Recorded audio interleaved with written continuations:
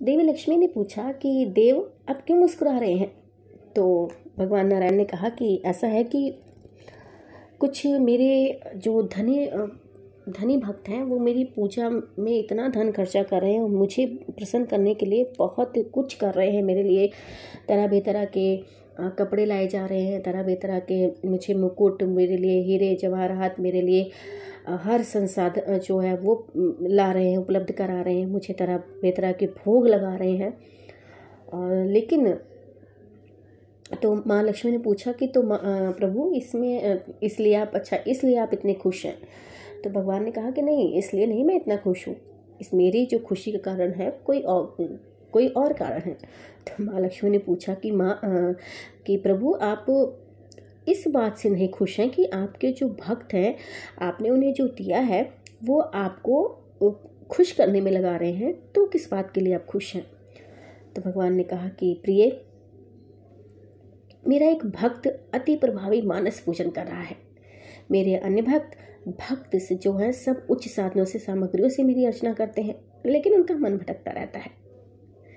तो हाँ जी, नमस्ते सभी को, कैसे हैं आप सब? मैं नीति, एक बार फिर से स्वागत करती हूँ आप सबका आपके अपने चैनल स्टोरी विद नीति में। और आशा करती हूँ कि आप सब जहाँ होंगे, स्वस्थ होंगे, सुरक्षित होंगे और अपने अपने परिवारों के साथ सुखमय और खुशहाल जीवन जो है वह व्यतीत कर रहे होंगे। तो आज की जो कहानी है, आज की जो कथा है, एक निर्धन ब्राह्मण की है, जो कि जिसके पास भगवान को प्रसन्न करने के लिए उपयुक्त धन भी नहीं है। दिखावा क्या करेगा? तो वो किस प्रकार भगवान को प्रसन्न कर देता है, आइए सुनते हैं और जानते हैं इस निर्धन ब्राह्मण का जो है, ऐसा कौन सा विधि विधान था, जिसने भगवान को प्रसन्न होने पर, मुस्कुराने पर मजबूर कर दिया। तो आइए सुनते हैं इस कथा को मेरे साथ, यानी आपकी अपनी नीति के साथ। तो कहते हैं कि एक बार की बात है कि एक निर्धन ब्राह्मण अपितु महान भक्त था। ब्राह्मण जो था, निर्धन तो था, लेकिन भक्त जो था, वो बहुत महान था। वह मंदिर की पूजा में बहुत शानदार सेवा पेश करना चाहता था, लेकिन उसके पास धन नहीं था। कहते हैं कि एक दिन की बात है, वह एक भागवत पाठ में बैठा हुआ था और उसने सुना कि नारायण मन में भी पूजे जा सकते हैं। अब क्या था? जब उसे इस बात का भाई पहले तो वो बड़ा परेशान था कि मैं भगवान को, भगवान की सेवा में मतलब बहुत अच्छी सेवा करना चाहता हूँ, लेकिन मेरे पास धन नहीं वो लोगों को देखता था कि भाई कोई पीला वस्त्र ला कर चढ़ा रहे हैं, भगवान को तरह तरह के भोग दे रहे हैं, हर तरह से भगवान को प्रसन्न करने की मतलब जो है प्रक्रिया में लगे हुए हैं। तो वो सोचता है कि मेरे पास धन ही नहीं है तो मैं भगवान को, भक्त तो बहुत महान था, भगवान की पूजा आराधना बहुत करता था, लेकिन वो सोचता था कि मेरे पास जब ये सब चीज़ है ही नहीं तो मैं भगवान मेरे से खुशी कैसे होंगे?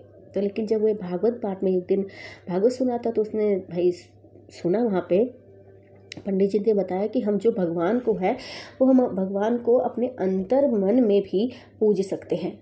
गाना है ना वो? कि दिल में बसा कर तेरी मूर्ति, उतारूँ मैं गिरधर तेरी आरती। तो बस उसने इस अवसर का लाभ उठाया।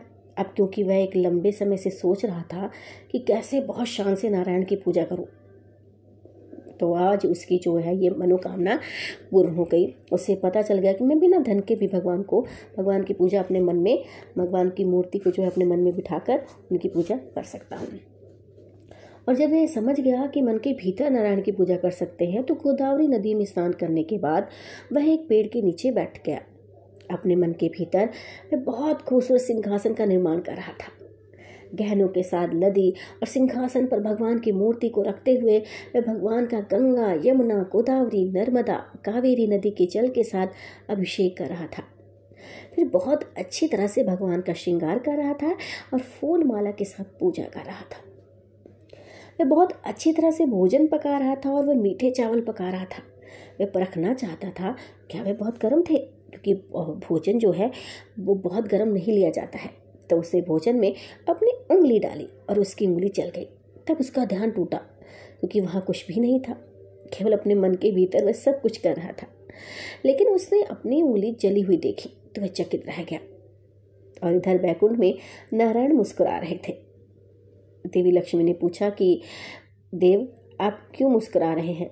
तो उन्होंने कहा कि मेरा एक भक्त जो है, अति प्रभावी मानस पूजन कर रहा है। मेरे अन्य धनिक भक्त सब उच्च साधनों से, सामग्रियों से मेरी अर्चना करते हैं, लेकिन उनका मन भटकता रहता है। इस समर्पित भक्त का वास वैकुंठ में होना ही चाहिए। अतः मेरे दूतों को तुरंत भेजो। उसे वैकुंठ लाने का जो है उनको कहो कि उनको वैकुंठ लेकर आए।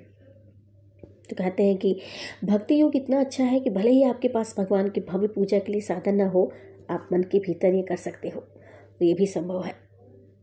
राम सबके हैं और सब जगह पे हैं।